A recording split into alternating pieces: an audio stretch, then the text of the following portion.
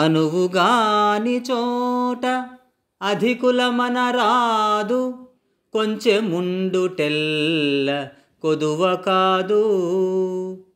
కొండ అద్దమందు కొంచెమైయుండదా విశ్వదాభిరామ వినురవేమ. విశ్వదాభిరామ వినురవేమా. భావము. మనకు అనుకూలంగా లేని చోట మనం గొప్పవాళ్ళమని చెప్పుకోరాదు. కొంచెముగా ఉండడం అనేది చిన్నతనం కాదు.